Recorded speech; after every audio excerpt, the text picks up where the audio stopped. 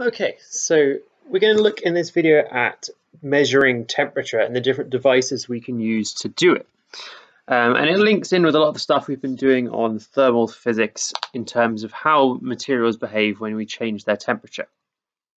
So the first thing we're going to look at is how liquid thermometers are made. So these are the thermometers that you will typically use in a lab. So essentially, um, they're very simple to make. So the first thing you do is you put some liquid into a column and you at a low-ish temperature and you mark the height of the liquid.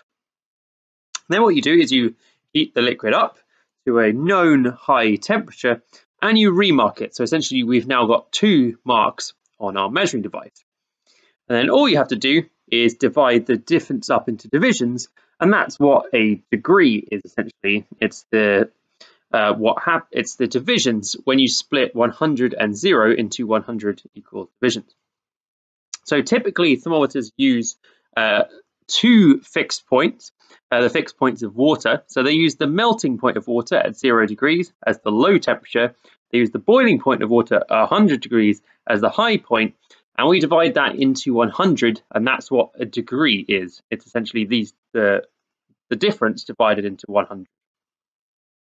So that's how you make a liquid-based thermometer. It's quite a simple process.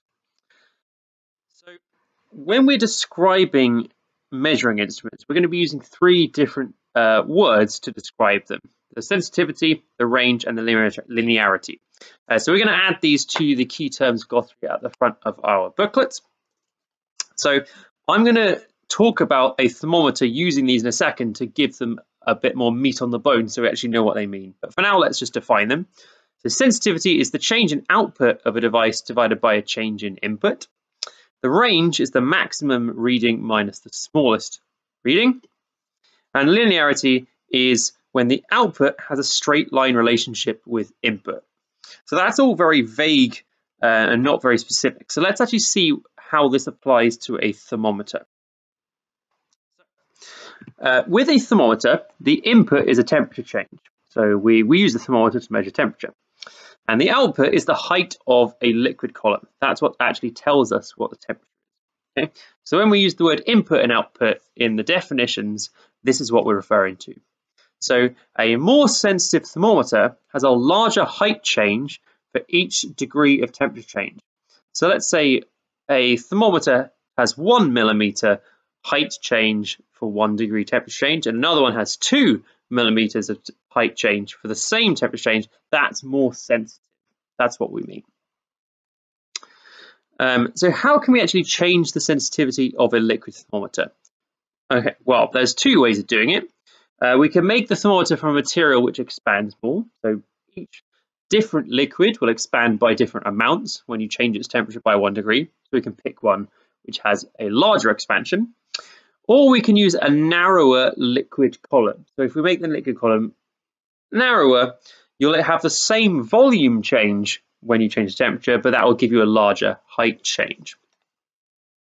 So the impact of that, so there's always a trade-off. So if we increase the sensitivity, the trade-off is we can we decrease the range of our measuring device. If we're having a much bigger height change, we can only we can have a smaller temperature change before we run out of space in our tube. So that's the trade-off.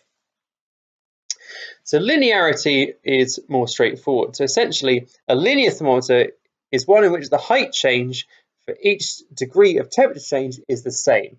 So let's say for a given thermometer, when we go from 1 to 2 degrees, the height increases by 1 millimeter. And if we go from 95 to 96, it also increases by 1 millimeter. So whichever eh, wherever the degree of temperature change is, it changes by one millimeter in this particular case. That is what we mean by linearity. Well, the other way of saying that is if we plotted temperature against the height of our liquid, it would be a straight line graph. That would be another way of saying that. So let's have a look at a use another device which we probably haven't come across before that we can use for measuring temperature. And it's called a thermocouple and it has three key parts.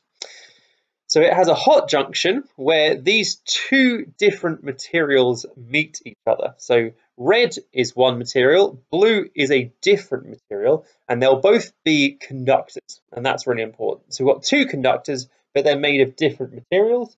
They're usually copper and iron, but we do get some slight variations. So we have where they, where they meet each other, called the hot junction. So those two wires are actually connected at that point. We have the opposite end, which is called the cold junction, which is where they're connected to the voltmeter, and this needs to be at a known temperature. So quite often we just use room temperature at these, so we know that both ends are at room temperature, but we can put them into something like ice, which will give a more controlled um, cold junction if we want to. The third part is a sensitive voltmeter. So that's why it says millivolts, because we need it to be very sensitive. We only get fairly small voltages out of this equipment. And those are the three key things that we need. So, why do we need this device? Why can't we just use liquid? So first of all, let's describe how we use it, and then we can talk about its advantages.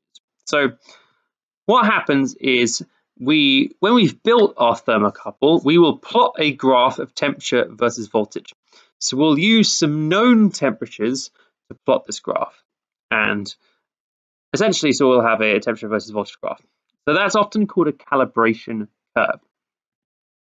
And then you measure the voltage and the temperature can then be read off the graph. So you put your the hot junction of your thermocouple into something you want to know the temperature of, read the voltage, go to your graph and go, ah, it's at this temperature. So we essentially use the graph that you've created with the known temperatures.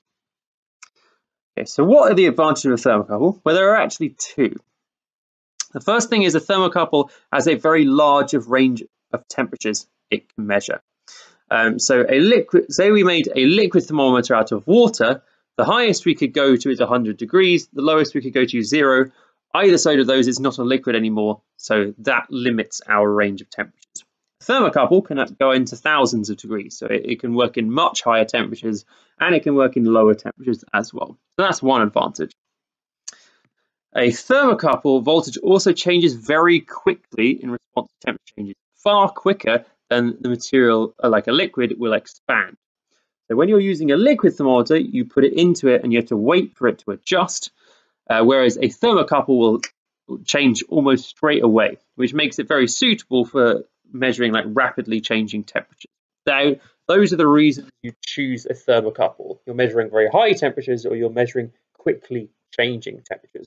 Um, but it isn't any more accurate than a liquid-based thermometer, you know, so it's not better for those reasons, it's only these two reasons it works.